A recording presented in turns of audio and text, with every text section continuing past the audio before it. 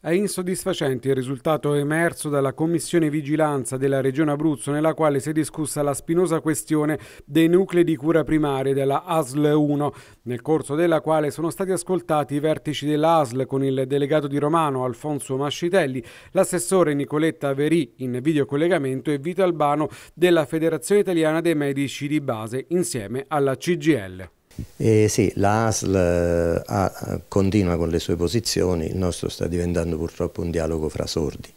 Questa era l'ultima occasione che avevamo per cercare di eh, arrivare a un eh, accordo. Eh, spero che eh, la Commissione di Vigilanza possa fare ulteriori passi in futuro, ma è chiaro che a questo punto l'unica cosa che ci rimane è procedere per vie legali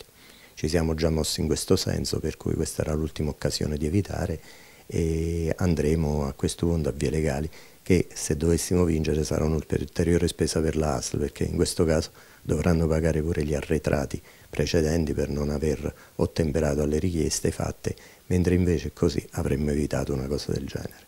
E mi dispiace perché è una sconfitta per noi, è una sconfitta per l'ASL, è una sconfitta per i, per i cittadini, si sarebbe potuta evitare.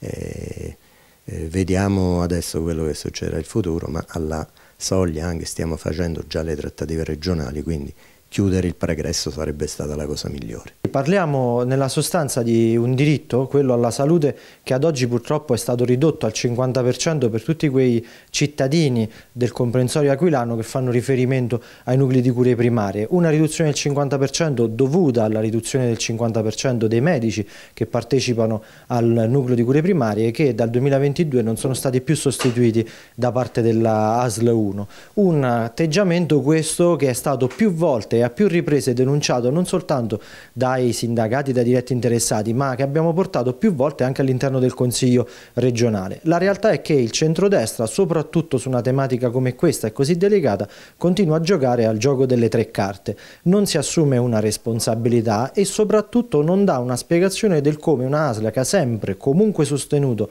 un costo per mantenere in piedi i nuclei di cure primarie, ad oggi arrivi a sostenere di non avere i fondi, quando i fondi ci sono sempre sempre stati fino al 2022 e ci sono ancora oggi.